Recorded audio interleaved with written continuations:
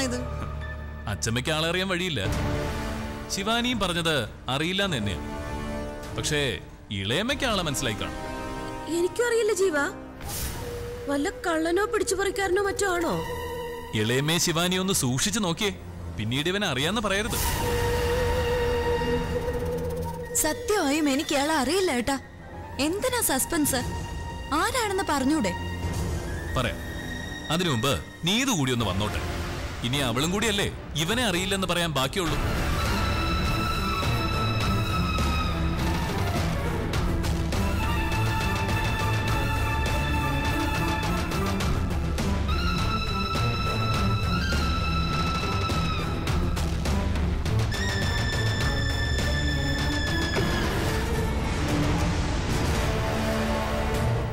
നീതുവിന്റെ മുഖം കണ്ടാൽ തന്നെ അറിയാം.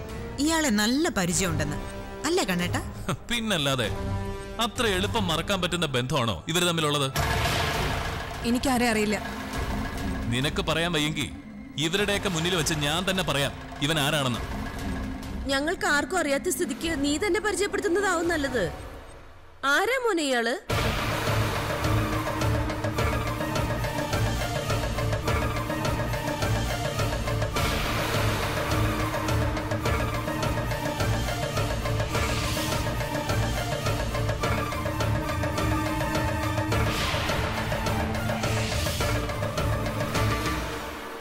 ഇത് ധ്യാൻ.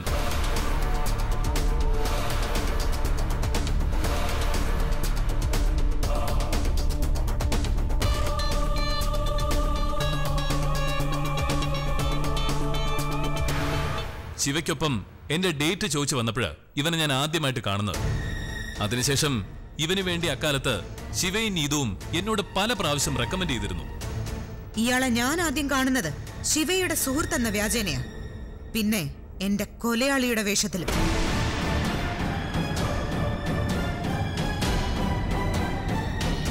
എന്തിന്? എന്തിനു വേണ്ടിയാ ഇവൻ കാവ്യച്ച കൊല്ലം തുനിഞ്ഞിറങ്ങിയത്?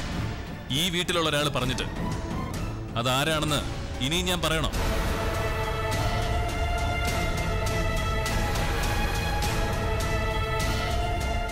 തലയ്ക്ക് മൂന്ന് വലത്ത് വെച്ച് എന്റെ മൂക്കിൽ പിടിക്കാനാണ് വരവെങ്കിൽ അത് വേണ്ട. കാവ്യക്കൊല്ലം ഞാൻ ഇതുവരെ ആർക്കും കൊട്ടേഷൻ കൊടുത്തിട്ടില്ല. അതിന് നിങ്ങൾ കൊട്ടേഷൻ കൊടുത്തുന്ന്? ഇവിടെ ആരും പറഞ്ഞില്ലല്ലോ.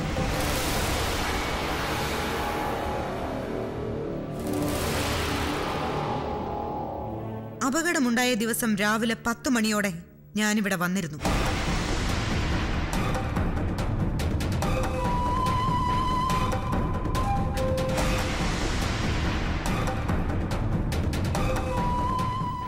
അപ്രതീക്ഷിതമായ എന്റെ വരവ് ഈ വീട്ടിൽ ആരും കണ്ടില്ല. പക്ഷേ അന്ന് എന്നെ ഇവിടെ എത്തിച്ചത് സാക്ഷാൽ ദൈവമായിരുന്നു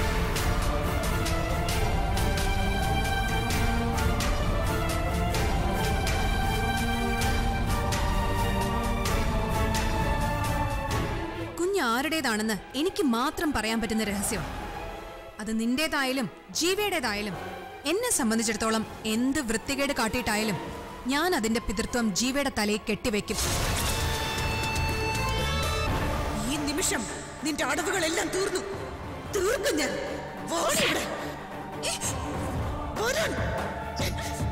നടക്കടി.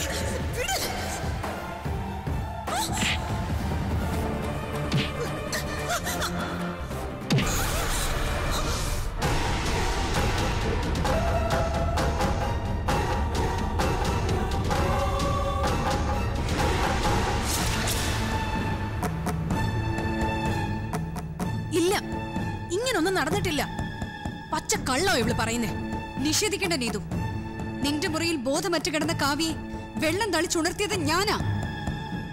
ആ ദിവസം ഞാൻ രക്ഷപ്പെട്ടു എന്ന് മനസ്സിലാക്കിയ നീതു പൂജ എന്ന പേരിൽ മൊബൈലിൽ സേവ് ചെയ്തിരുന്ന നമ്പറിലേക്ക് വിളിച്ചു. മറുതലക്കൽ ഇവനായിരുന്നു ഈ ധ്യാൻ. ശത്രുസംഹാര പൂജയ്ക്കുള്ള കൊട്ടേഷനാ നീതു ഇവന് കൊടുത്തത്. ഞാൻ എന്ന ശത്രുവിനെ ഇല്ലാതാക്കി ഇവരുടെ രഹസ്യം മൂടിവെക്കാനുള്ള പൂജയ്ക്ക്. ഇതൊക്കെ വെറും നുണകളാ. എന്നെ ഒഴിവാക്കാൻ ഈ തന്ത്രം ഒന്നും പോരാതെ വരും ജീവ.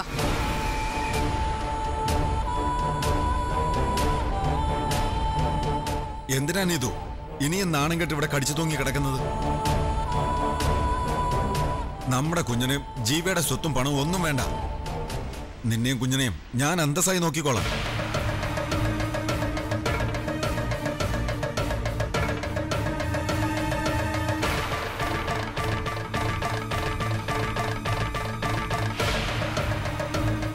നടന്നൊക്കെ മറന്നൂന്ന് എന്റെ കാവ്യമോൾ അഭിനയിച്ചത് ഈ ഒരു നിമിഷത്തിന് വേണ്ടിയായിരുന്നു.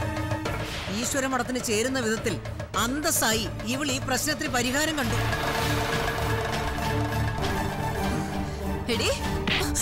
എന്നെ അമ്മയും വരെ നീ ചതിച്ചു അല്ലേ? ഇത്രയും കാലം എന്റെ ഏട്ടനെ ചതിച്ച് മുൾമുനെ നിർത്തിയന് നീ ഉത്തരം പറഞ്ഞ മതിയാകൂ. നിന്നെ കൊണ്ട് പറയിക്കും ഞാൻ. പറയടി വിട് നിന്നോടല്ലേ പറഞ്ഞ? അവളെ വിടാൻ പറയാടി. അഴിച്ചു വിടന്നെ അവളെയും കൊണ്ട് ഞാൻ എവിടെയെങ്കിലും പോയി ജീവിച്ചോളാം. അങ്ങനെ ഇപ്പൊ വിടുന്നില്ല. ഈ ചതിക്ക് പിന്നിൽ എന്തായിരുന്നു നിങ്ങളുടെ ലക്ഷ്യമെന്ന് ഞങ്ങൾക്ക് അറിയണം ശാസ്ത്രീയ പരിശോധനയിൽ കുട്ടി എന്റെ ഭർത്താവിന്റേതല്ലാന്ന് തെളിയുമെന്ന് ഉറപ്പുണ്ടായിട്ടും എന്തിനാ ഇവർ ഈ കളിക്ക് ഇറങ്ങി പുറപ്പെട്ടതെന്ന് കൂടി അറിഞ്ഞേ പറ്റൂ. പറയടി. അവളെ ഉപദ്രവിക്കണ്ട. ഞാൻ പറയാം.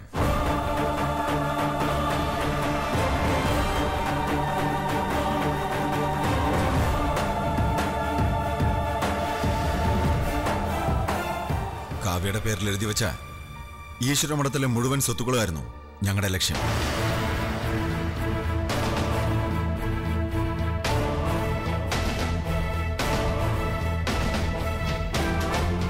എല്ലാം കൈക്കലാക്കിയിട്ട് എന്റെ ഒപ്പം വരാമെന്നാ നീ ഇത് സമ്മതിച്ചത്. അതിനുവേണ്ടിയാ കാവ്യ കൊല്ലാൻ പോലും ഞാൻ ശ്രമിച്ചത്.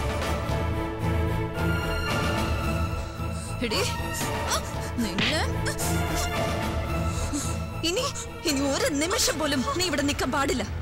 ഇറങ്ങിപ്പോ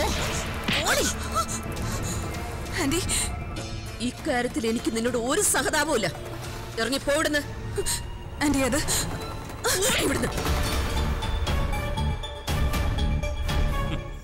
ഇളയമ്മയുടെ മോളുടെ അഭിനയം എനിക്ക് ഇഷ്ടപ്പെട്ടു നന്നായി.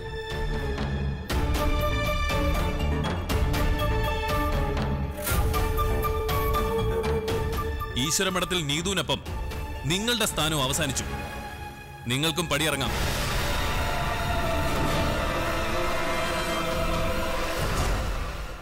അതിന് ഞങ്ങൾ ഒരു തെറ്റ് ചെയ്തിട്ടില്ലല്ലോ ജീവ.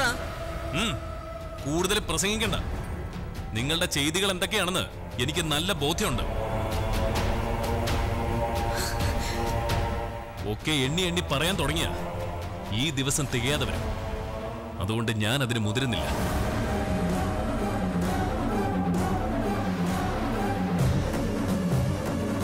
തെറ്റിതിരുത്താൻ നൂറ് അവസരങ്ങൾ നിനക്ക് ഞാൻ തന്നതാണ് അതുകൊണ്ട് ഒരു കാലത്ത് എന്റെ നെഞ്ചിന്റെ ഭാഗമായിരുന്ന നിന്നെ പറിച്ചു മാറ്റുന്നതിൽ എനിക്ക് ഒട്ടും വേദന തോന്നുന്നില്ല. ഞങ്ങളെ പുറത്താക്കിയാൽ ഈശ്വരമഠത്തിൽ എന്നും ശാന്തി സമാധാനം കളിയാടുമെന്നാണോ നീ കരുതിയിരിക്കുന്നത്? എന്താ സംശയം? ഇനി അങ്ങോട്ട് ഇത് ഈശ്വരന്മാരുടെ മടം തന്നെയായിരിക്കും. നീ ചെവിയിൽ നുള്ളിക്കോ ജീവ. ഇന്ദിരയുടെ പുതിയ കളികൾ നീ കാണാനിരിക്കുന്നതേ ഉള്ളൂ. ഓ. ബാഗ് കൊടുത്ത് നമുക്ക് ഇറങ്ങാൻ മോളെ. വാ. ഏട്ടാ ഞങ്ങളെ ഇളയമോ നിന്നേ. ബാഗും സാധനങ്ങളൊക്കെ എടുക്കുമ്പോ വില്ലയുടെ ചാവി എടുത്തു വെച്ചിട്ട് ഒരു പ്രയോജനമില്ല ഞാനത് വേറെ ലോക്കിട്ട് പൂട്ടി. ഞാൻ അധ്വാനിച്ച് സമ്പാദിച്ച വീട്ടിൽ താമസിച്ചുകൊണ്ട് നിങ്ങൾ ഇനി എനിക്കെതിരെ പടം നയിക്കണ്ട. ഓഹോ അപ്പൊ എന്നെ എന്റെ മോളെ തെരുവിലിറക്കാൻ തന്നെയാ നിന്റെ ഭാവം അല്ലേ? ശിവാനി പ്രായപൂർത്തിയായ ഒരു പെൺകുട്ടി ആയതുകൊണ്ട് ഇവളുടെ കാര്യത്തിൽ ഞങ്ങൾക്ക് ആശങ്കയുണ്ട്. അതുകൊണ്ട് നമ്മുടെ കമ്പനി അക്കോമഡേഷൻ നൽകുന്ന വിമൻസ് ഹോസ്റ്റലിൽ ശിവാനിക്ക് ഒരു റൂം പറഞ്ഞിട്ടുണ്ട്. ശിവാനിക്ക് മാത്രം. എന്റെ സുരക്ഷയെക്കുറിച്ച് ഓർത്ത് നിങ്ങൾ ആരും ഇനി ടെൻഷൻ അടിക്കണ്ട.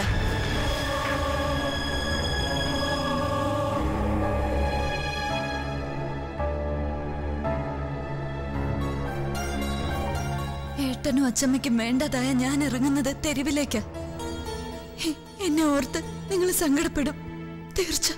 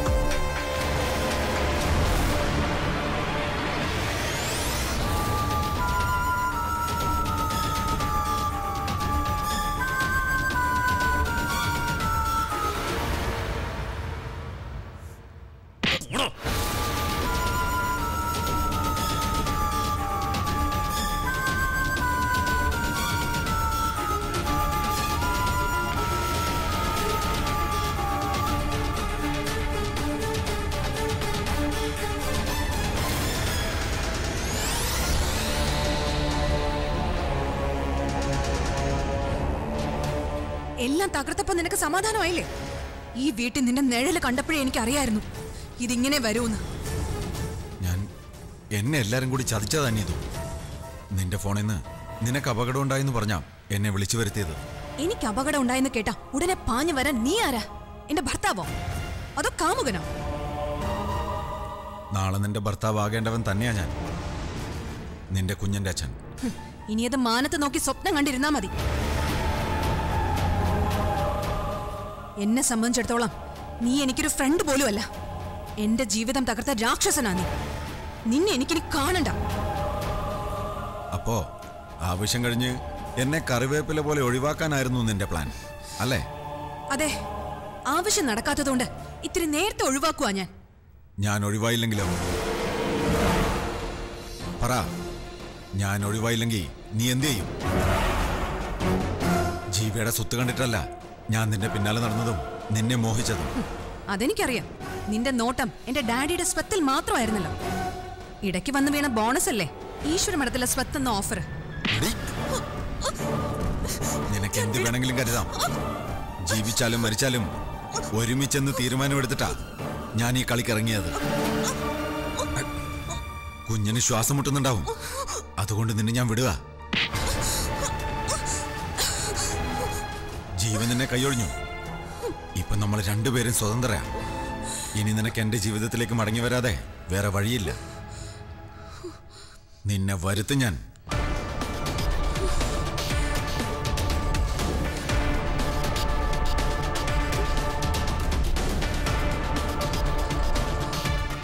ഇനി നിന്റെ കുഞ്ഞ് അധിക നാളെ ജീവിച്ചിരിക്കില്ല. ജീവയുടേതെന്ന് അവകാശം ഉന്നയിക്കാൻ പറ്റാത്തൊരു ജന്തു ഇനി എന്റെ വയറ്റി വേണ്ട.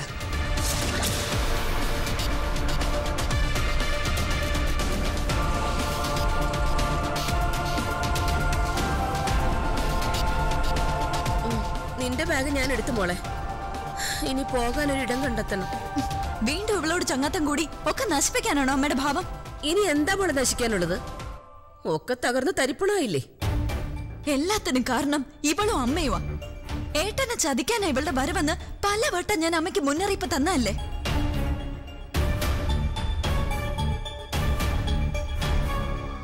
കാണുമ്പോ നിന്നെ പച്ചയ്ക്ക് കത്തിക്കാൻ എനിക്ക് തോന്നുന്നേ. എന്നിട്ട് എന്താ കത്തിക്കാത്തത്? തീപ്പെട്ടി കയ്യിലില്ലേ? നിന്ന് വാച കൊടിക്കാതെ എങ്ങോട്ടെങ്കിലും പോ. ഞങ്ങൾക്ക് നിന്നെ കാണണ്ട.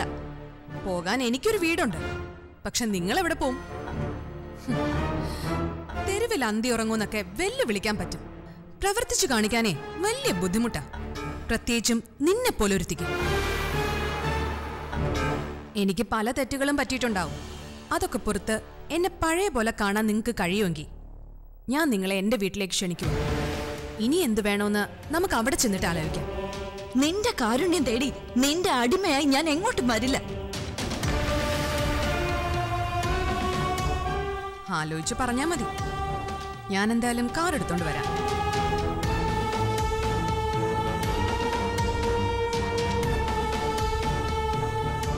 ഇപ്പൊ തൽക്കാലം അവളുടെ ഓഫർ സ്വീകരിക്കുന്നതാണ് ബുദ്ധി. എന്റെ സ്വന്തം ചോരയെ ചതിച്ച് അവളോട് പൊറുക്കാൻ എനിക്ക് ആവില്ല അതിലും ഭേദം കാവ്യ പറഞ്ഞതുപോലെ ഹോസ്റ്റലിൽ പോയി താമസിക്കുന്നത്. അതിന് നീതുവിനോട് നമ്മൾ പുറത്തു നിന്ന് ആരാ പറഞ്ഞത്?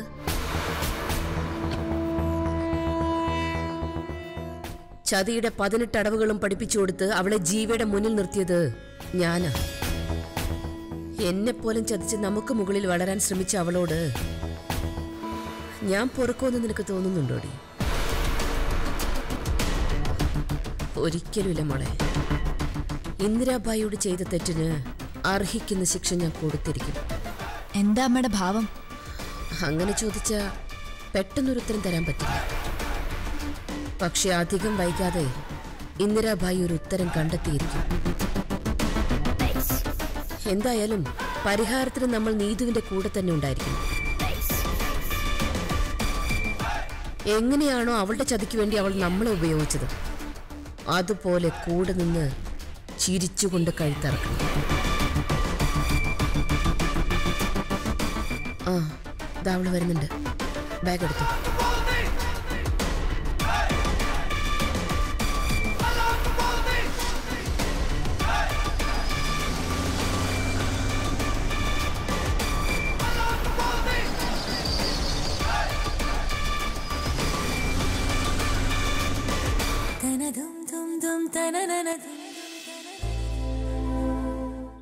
ധ്യാനെ ഈശ്വരമഠത്തിന്റെ പരിസരത്ത് ഞാൻ നേരത്തെ കണ്ടിരുന്നത് നീതുവിന്റെ മുറിയിൽ നിന്ന് ആരോ ചാടിപ്പോയെന്ന സംശയം ഏട്ടത്തി എന്നോട് നേരത്തെ സൂചിപ്പിച്ചിരുന്നെങ്കിൽ ആ ശല്യം നമുക്ക് ഇതിനു മുമ്പേ ഒഴിവാക്കായിരുന്നു.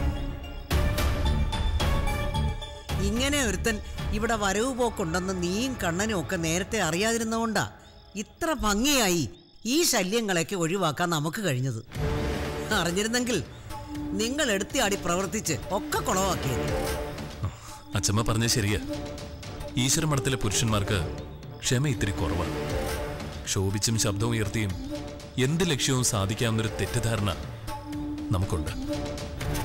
ഇനി അതൊക്കെ കൺട്രോൾ ചെയ്ത് നമ്മുടെ ഭാര്യമാരുടെ അഭിപ്രായം കൂടി അറിഞ്ഞ് ജീവിക്കുന്നതാവും നല്ലത്.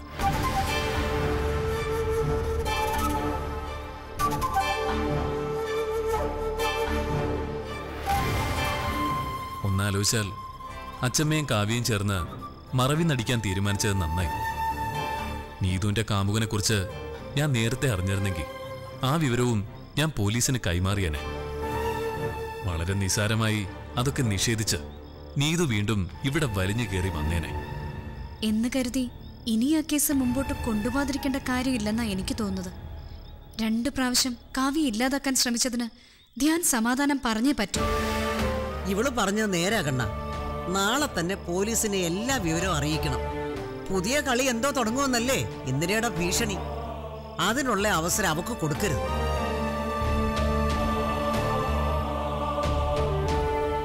നീ എന്താ മോളെ ഒന്നും മിണ്ടാ നിൽക്കുന്നത്? നിന്റെ സങ്കടമൊക്കെ തീർന്നില്ലേ? തീർന്നു അച്ഛമ്മേ. എന്നാലും എനിക്ക് ടെൻഷനുണ്ട്. മുറിവേറ്റ വിഷപ്പാമ്പുകൾ അടങ്ങിയിരിക്കാൻ ഒരു സാധ്യതയും ഞാൻ കാണുന്നില്ല. ഇനി പത്തി ഉയർത്തിയ ആ നിമിഷം കഴുത്തുവെട്ടി താഴടിഞ്ഞ് നോക്കിക്കോ. അങ്ങനെയല്ല ശിവ. ഇവിടെ വെച്ച് നീതുവിനോട് ഏറ്റവും ദേഷ്യം കാണിച്ചത് ശിവാനിയ. എന്നിട്ട് അവളും നീതുവിന്റെ വീട്ടിലേക്ക് ചേക്കേറിയെന്നല്ലേ ശിവ പറഞ്ഞത്? അതിനു പിന്നിൽ എന്തോ ആപത്ത് മറിഞ്ഞിരിക്കുന്നുണ്ടെന്ന് തോന്നുന്നില്ലേ?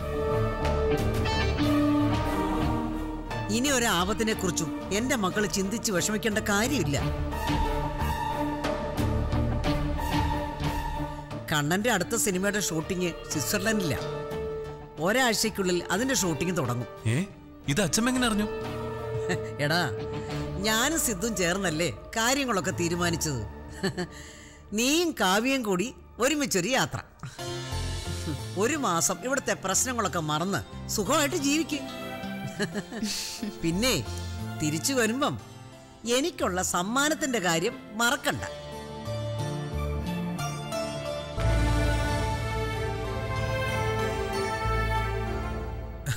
എന്ത് സമ്മാനം പച്ചമയ്ക്ക് വേണ്ടത്? ഇവിടെ കിട്ടാത്ത എന്താ ഇപ്പൊ അവിടെ ഉള്ളത്?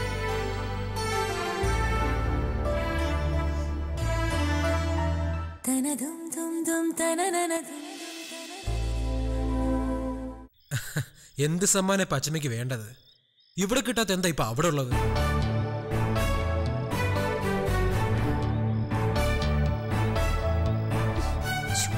എന്താടി?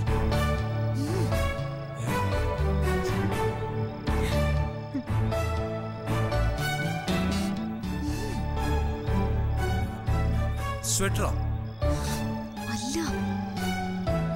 പിന്നെ? ഓ അത്.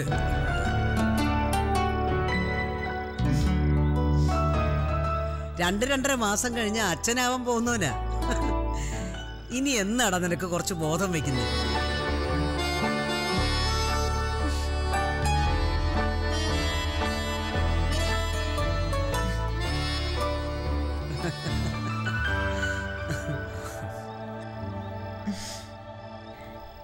എനിക്ക് തല നന്നായി വേദനിക്കുന്നുണ്ട്.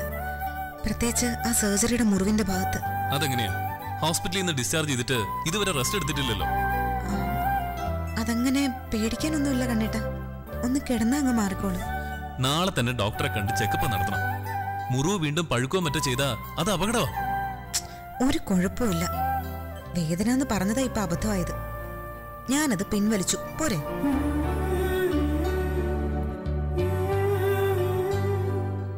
അപ്പോ എല്ലാവർക്കും ഗുഡ് നൈറ്റ്? ആ ശരി മോളെ.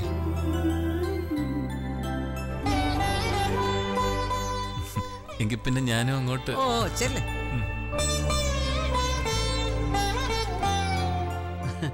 കണ്ണന്റെ മേലുള്ള തെറ്റിദ്ധാരണ മാറിയ കാര്യം നിന്റെ ഏട്ടനെ വിളിച്ച് പറഞ്ഞോ ശ്രീകുട്ടി?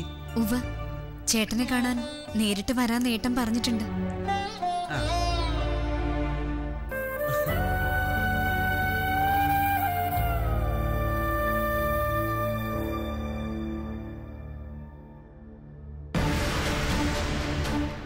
ഓർക്കും തോറും എനിക്ക് കലി കൂടിക്കൂടി വരിക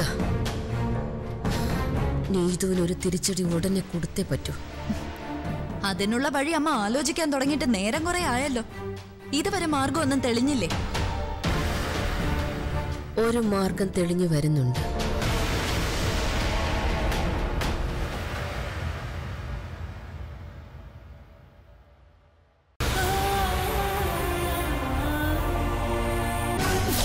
ആണ്ടവാ ഇനി നീ ഏത്തുണ